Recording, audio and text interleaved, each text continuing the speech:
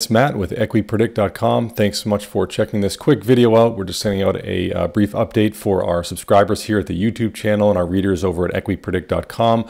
Up on the screen here, we've got a weekly chart of CrowdStrike. As you know, there's been a recent sell-off uh, due to the news uh, with CrowdStrike and uh, Microsoft.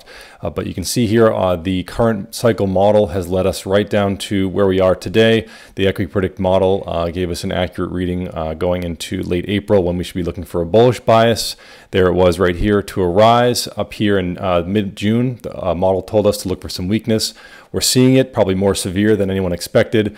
But the next bullish tendency, the next uh, period of, uh, of, potential bullish action that we should be looking for in the CrowdStrike stock is going to be the first week of uh, August, or excuse me, the second week of August, uh, the week of August 12th, and uh, bearish tendency. Uh, creeping into the stock again uh, that second or first week, August, the week of August 9th in September. Uh, so we're going to be sending out to our readers over at equipredict.com the, uh, the actual day, the week of August 12th, that we'll be stepping into and taking a long position in CrowdStrike if the setup uh, looks uh, appropriate. So again, it's equipredict.com. Here's your cycle. Good luck.